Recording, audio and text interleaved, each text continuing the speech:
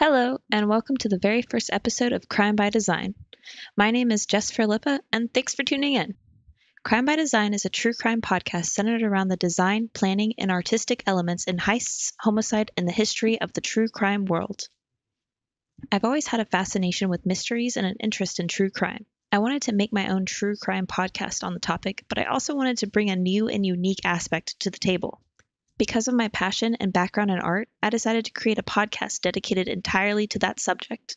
My hope with this podcast is to teach people about the creative background of these cases in hopes they can enjoy the topic as well. For now, though, I think it's time to dive into today's case. The sources I used for this story come from youtube.com, co.com, medscape.com, linkedin.com, abcnews.go.com, and unsolvedmysteries.com. All of my sources will be listed in the description for this episode. Today we will be discussing Lois Gibson, an artist, a survivor, and an amazing woman who found her calling through tragedy. We will also be discussing mature content, such as sexual assault and violence. Listener discretion is advised. With that being said, let's get into the story. Born in 1950, Lois Gibson was born with a passion for art. And as a young child, she was always drawing and using whatever supplies she could get her hands on. She loved pencils and paints, and Lois says sometimes she would even steal other kids' crayons and draw until there were nothing but little nubs. As Lois grew up, she found that not only did she enjoy drawing people, but she loved being the subject of the art as well. Leaving her family behind, Lois moved to Los Angeles, California. She was quite gorgeous and began her modeling career when she was in her early adult life. She dated famous actors, she did photo shoots for Playboy, and she even ended up becoming a dancer on a TV show. Although her LA life seemed to be a fantastic dream, 21 year old Lois Gibson's future was about to take a dark and devastating turn. One night in 1971, 21 year old Lois heard a knock at the door. On the other side, she heard the voice of a man claiming to be a neighbor. He told her he wished to get acquainted with her since they lived in the same apartment complex. Lois opened the door and the man immediately grabbed her. Lois described the attack as him suddenly ripping her neck to the side as if trying to snap it. He then beat her to the brink of death. At that point, the man began to rape Lois. For the entire duration of the attack, Lois thought she was going to die. Her life was flashing before her eyes, and she thought of all the things she hadn't done yet, but wanted to do more than anything.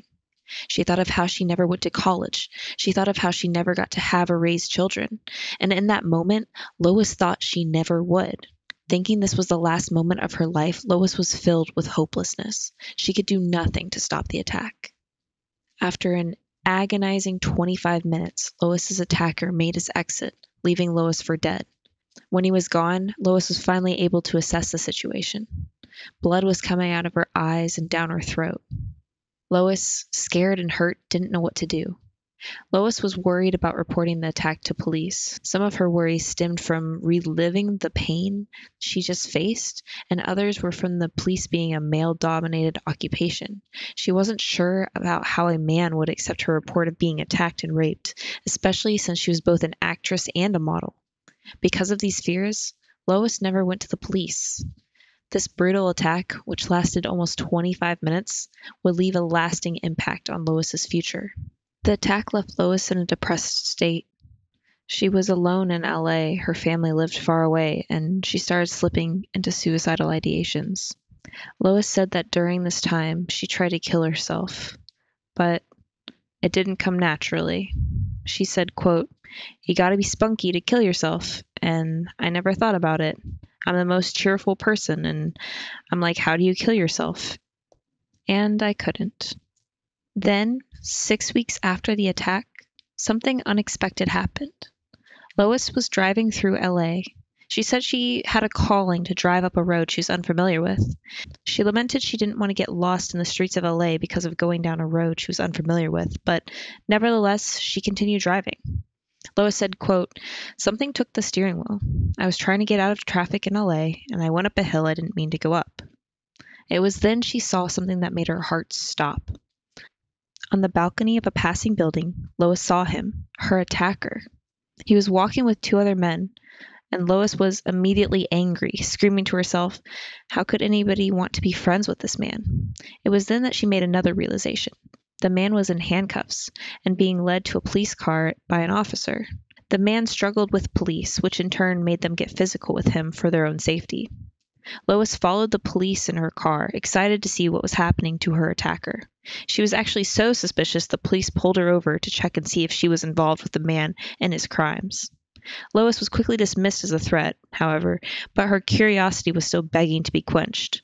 Turning to one of the officers, she asked what the man had done. The officer informed her that he was being arrested on cocaine drug charges. Lois was elated. Although he hadn't been arrested for her rape, he was still being arrested. He was being taken away and could no longer hurt her. Right before her very eyes, Lois saw justice in action. Though she never reported the man, she was still able to see him taken away as a criminal. That moment cemented in Lois's mind that the bad guys don't always get away with hurting their victims. Sometimes the bad guys are brought to justice through unexpected ways. Lois said, quote, I saw justice in spite of myself, in spite of not trying to seek it out, and I could go on living. What Lois felt in that moment helped her find new hope in life. She thought back to those heartbreaking 25 minutes. She thought about her life flashing before her eyes. She thought about her college dreams and how she hadn't had kids like she always wanted. And after seeing her justice, after six weeks of wanting to die, Lois began planning out her new future. Lois moved from LA, California to Austin, Texas, and went on to get a fine arts degree at the University of Texas at Austin. She graduated with honors in 1976, and in 1977 she got a job as a dental lab technician with the University of Texas Health Science Center at San Antonio. She was studying to be a maxillofacial prosthesis technician. According to Medscape.com, a maxillofacial prosthetics is a branch of dentistry that deals with congenital and acquired defects of the head and the neck. Maxillofacial prosthetics integrates parts of multiple disciplines, including head and neck oncology, congenital malformation, plastic surgery, speech, and other related disciplines. During her time in San Antonio, Lois was still passionate with her artwork. She loved to draw and would sit on the San Antonio Riverwalk drawing thousands of portraits of visitors and locals.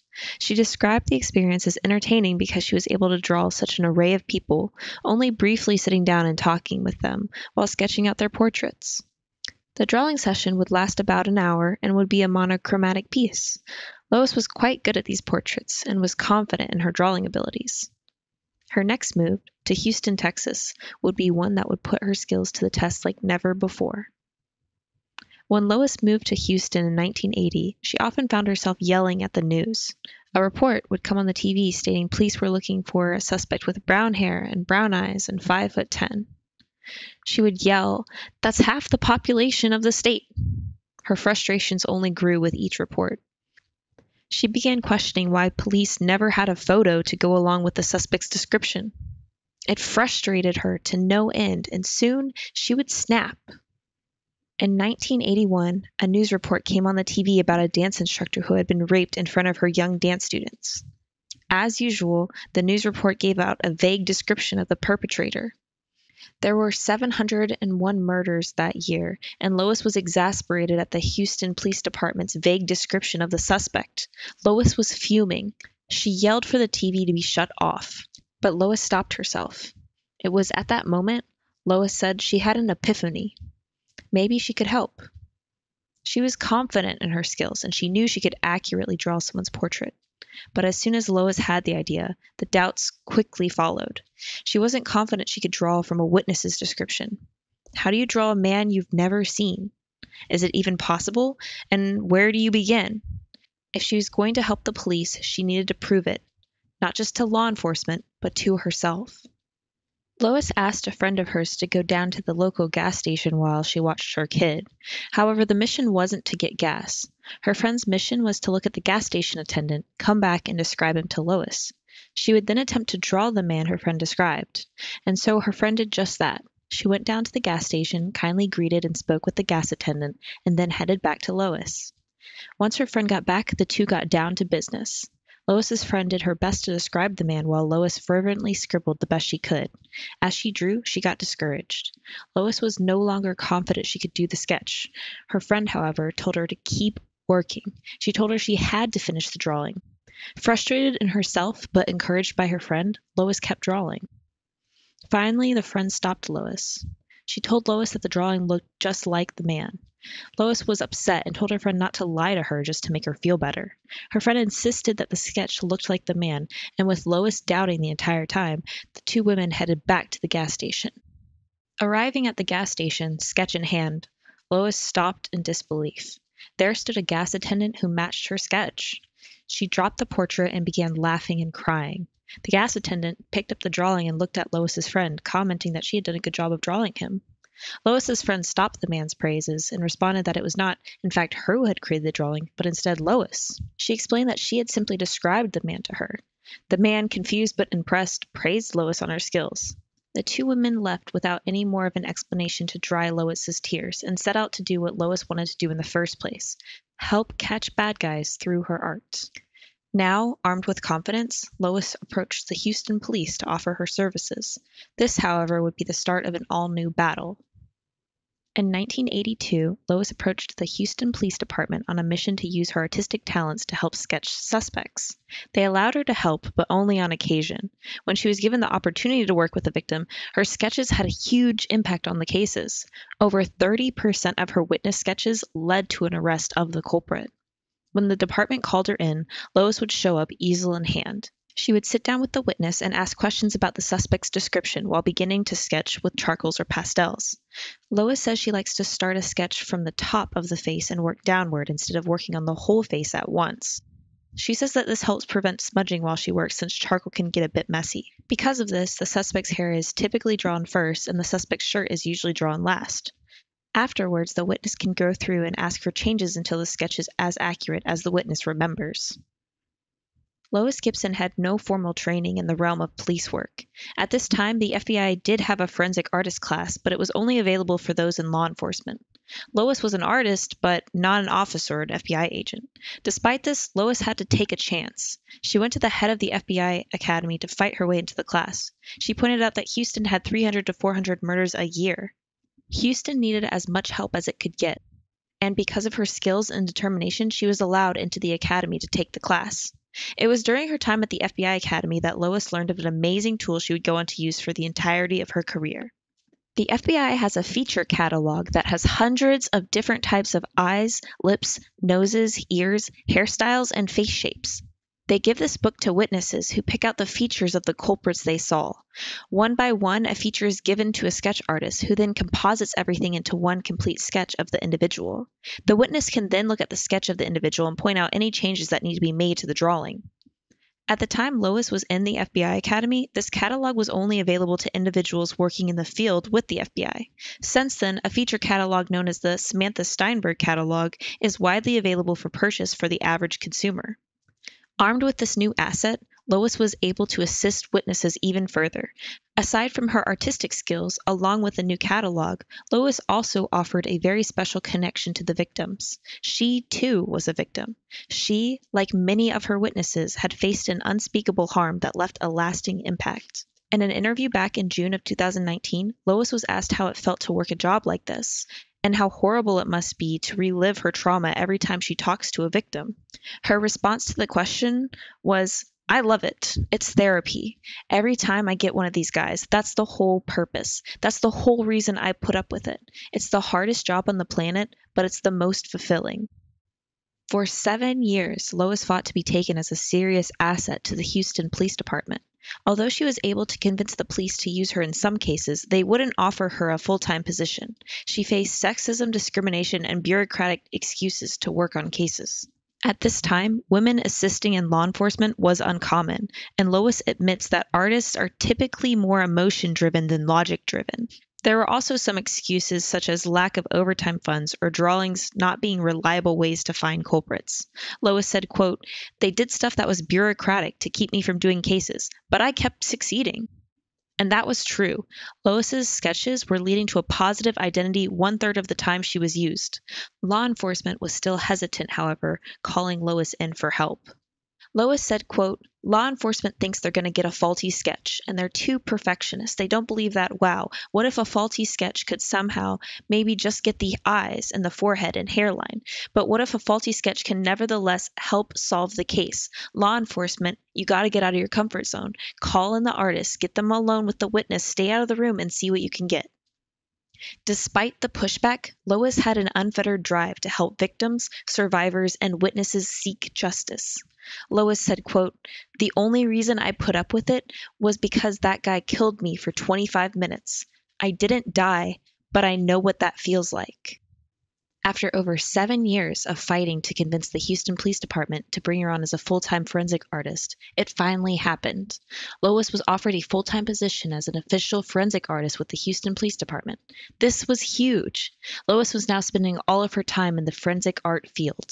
She not only assisted in sketches, but also in facial reconstruction and hypothesizing what victims looked like despite the police only having bones. She was able to use her artistic abilities, dental work background, and knowledge of human anatomy to piece together the victims' faces. Police would run faces through databases or release them to the public for help with the identification process. One time, a newborn baby was stolen right from the hospital when the baby was left unattended. In complete shock, hospital staff and police officers were in distress. All anyone had to go off of was the mother's testimony who had seen the woman who had taken her baby. Completely frantic, the mother sat down with Lois to provide a sketch. Lois calmed her down and began asking her to describe the woman.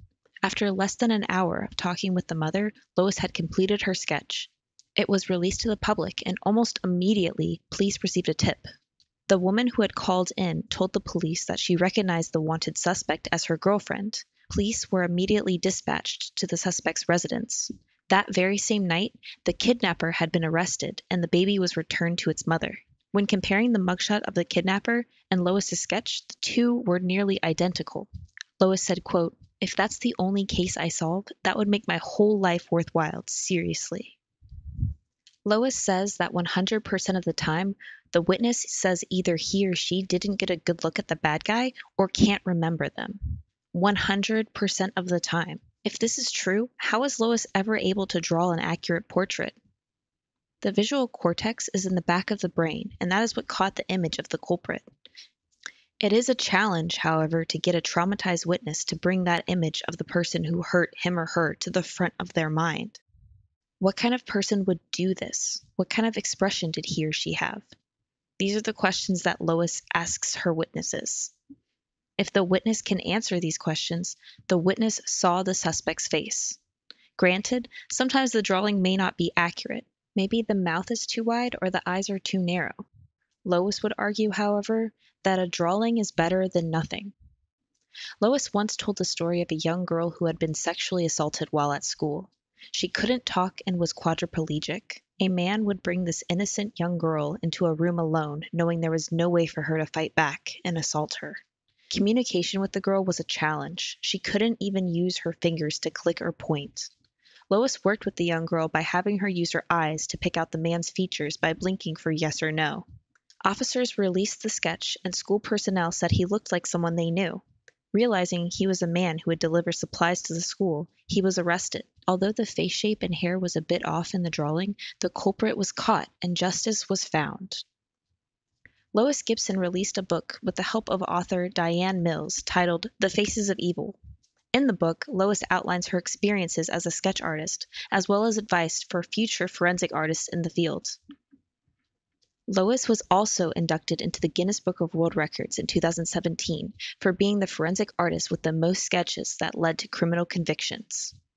In present day, Lois is retired, having finished her 39 year career as a sketch artist in September of 2021.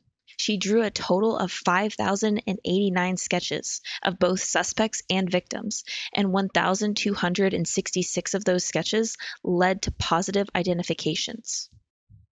Occasionally, she still teaches classes on the topic, but she mainly spends time painting and being with her family and grandchildren. Lois says she wishes to inspire a whole new generation of artists to look into the forensic art field as a career path. There are very few sketch artists employed around the world to assist law enforcement, and Lois continues to advocate for them to be taken seriously in the field. Because of her, many have been brought to justice, found justice and will continue help seek justice. And that is the story of the world's most famous sketch artist, Lois Gibson.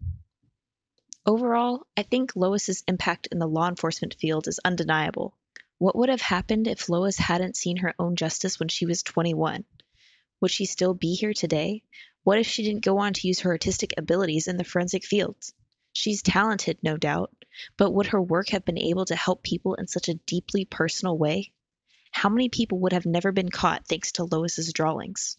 Would anyone other than Lois have been able to get close to helping witnesses open up about their traumatic experiences? Lois has many talents, and not all of them are artistic. Her ability to reach out and connect with others is a special gift. As the old Swedish proverb goes, and many of us artists are well versed in, the best place to find a helping hand is at the end of your arm.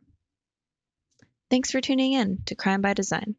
I'm your host, Jess Fralippa, and I wish you a blessed day. Catch you next time.